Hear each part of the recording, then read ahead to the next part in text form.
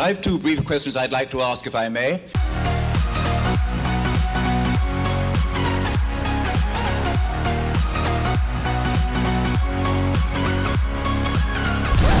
Welcome to Left Foot Media. My name is Brendan Malone and you're watching The Daily Question. Today's question of the day What's wrong with It's a Scary Time for Boys? Now, the reason I'm asking that question is because a couple of weeks ago, during the height of the hysteria around the Brett Kavanaugh nomination, Donald Trump made a public statement about the fact that it's a scary time for men if you can uh, put aside the presumption of innocence until proven guilty. So basically, you can accuse any man of sexual assault or rape, and, and that allegation is to be believed as being absolutely true without actually testing the allegation properly first. So, in other words, the presumption of innocence until guilt is thrown out the window, and instead it is now re- replaced with this idea that any man who is accused of sexual assault or rape is to be treated as guilty until proven otherwise. Now, I don't need to go into the details, and you don't need to be a rocket scientist to see why that is a very, very bad and dangerous idea, and why that would be a legitimate fear for men to have uh, in any society they're living in which wants to go down this path. Now, in response to that comment, a lady called Lynzy Lab uh, got on social media and posted a, a, a, little ditty that she wrote about this, grabbed herself a ukulele and wrote a little song and, and listed all of her fears. Now, this little ditty went viral. Uh, she called it It's a Scary Time for Boys, and it went so viral that Jimmy Kimmel saw it. And Jimmy Kimmel invited on, on her onto her show, and she performed it live. When I was first assessing how I was going to respond to this when some people alerted me to the song. Initially, I looked at the lyrics of the song and I thought I would go through all the lyrics and point out the fact that there's a lot of falsehoods in here. Um, like, for example, I can't use public transport after 7 p.m. Well, that, I mean, that's not even true. I, I can't come to the door wearing silk pajamas. Again, like that's not true either. So there's a lot of these sort of little statements here that are not true. And I could have also explored the fact that a lot of the fears she lists here aren't exclusive to females, they actually apply to men, and I recognize some of those fears in my own life. And so there's sort of, it's not simply females have these fears and males don't. And, and I could have also explored the fact that the final line of this song is just flat out untrue. And, and her uh, rise to fame and very quick rise to fame on the back of the song actually proves how false the final line of the song is. That the final line goes like this, and I can't ever speak earnestly about all these fears. Well, I genuinely do believe she is being earnest when she speaks about these fears, and that this song was an earnest attempt for her to express herself and, and honestly about how she feels and, and the ideas that she holds about these issues. And that went viral very, very quickly, and it got to the point of, of going so viral that she was invited on a late night comedy show to perform the song live there. So the idea that women can't speak earnestly about these fears, not only that, but women have been speaking earnestly about these type of fears for many years. She's not the first one to do this. It's been happening for many years now. And so the idea that that, that final line of the song is even true, it's actually disproved. The irony here is that it's disproved by the success of the song and, and, and her very, very rapid rise to fame. One of the things I find really troubling about the song is effectively it's it's continuing this absurd uh, and false approach to male female relations where what it's doing is it's pitting men against women. And, and the way the song allows you to do that is it wants you to buy into a bit of a falsehood. And the falsehood that it wants you to buy into is that this list of fears here is exclusive to females. That's the first part of the falsehood. Well, when you look at that list, in actual fact, that's not true.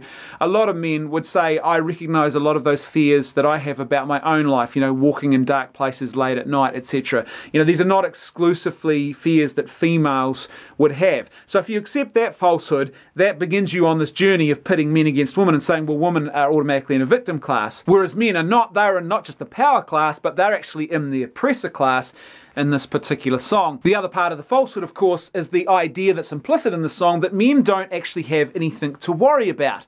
Now, sure, when it comes to issues of strength and size, there is an advantage that your average male has over your average female, and so some of these fears aren't going to be equal, if you like, in the way they are, are experienced in the world.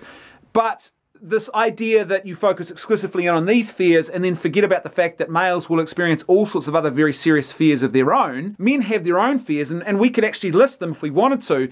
But again, I don't think that's helpful either because what that would be doing is perpetuating this idea that we should be pitting men against women in a struggle for who is the greater victim. That's not a healthy or helpful approach.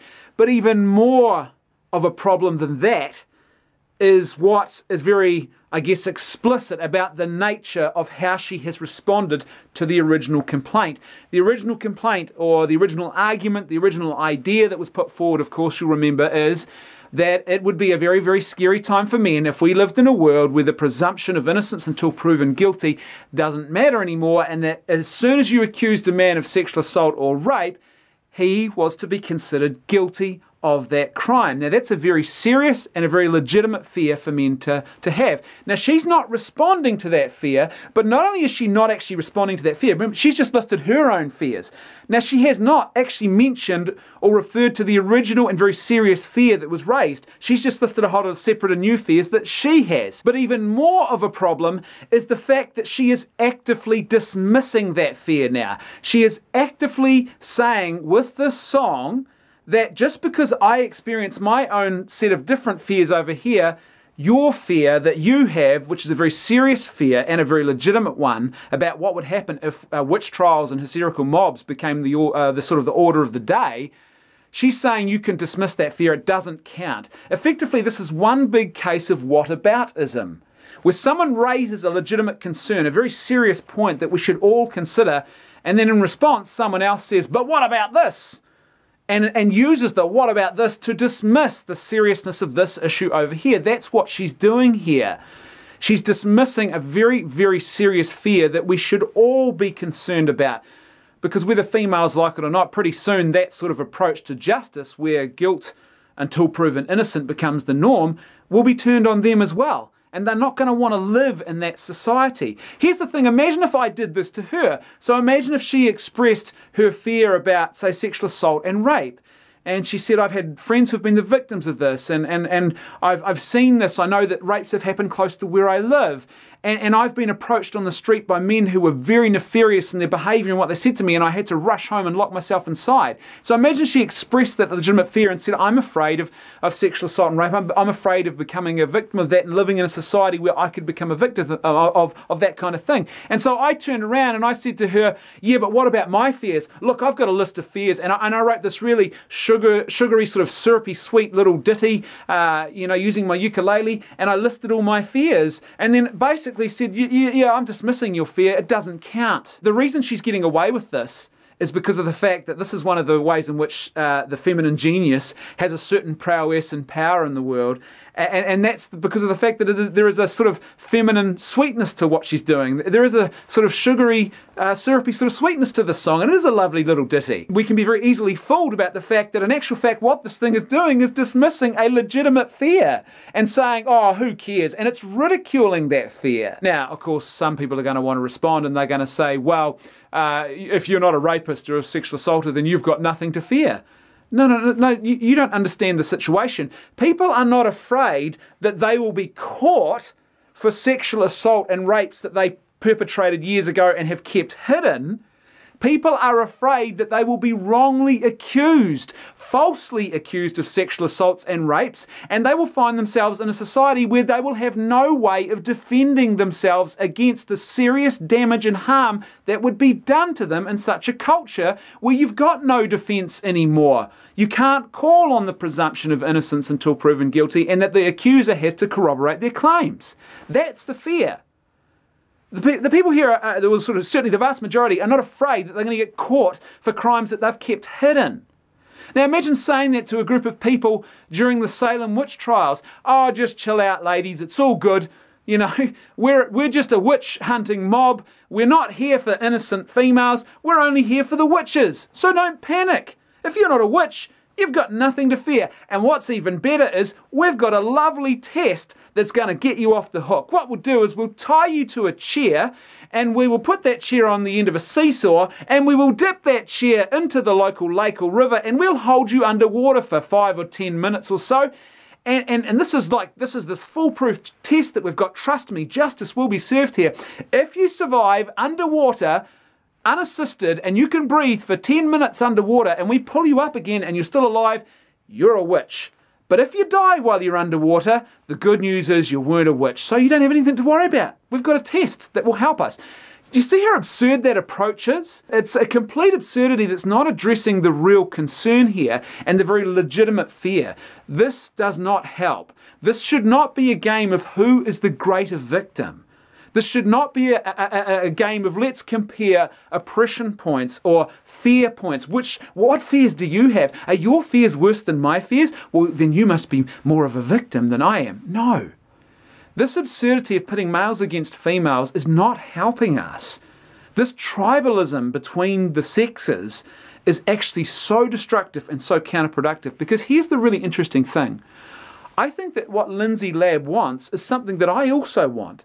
I want to see more men in the world who act with virtue. Now, uh, you could say I have a bit of a selfish uh, sort of interest here, a selfish ulterior motive in the fact that I've got four daughters. So I want them to grow up in a world where they can be surrounded by, by men who are going to be virtuous and who are going to love them and treat them with care and respect and actually protect and nurture them with their masculine strength. So I've got a bit of an ulterior motive, sure. But beyond that, I also want to live in that society. As a male, I don't want to live with a group of men who are barbarians and who have no control of their, their uh, emotions, who have no control of their actions, who just act purely according to self gratification. I want to live in a world where I am surrounded predominantly by men of virtue. And here's the thing I think she wants to live in that world too.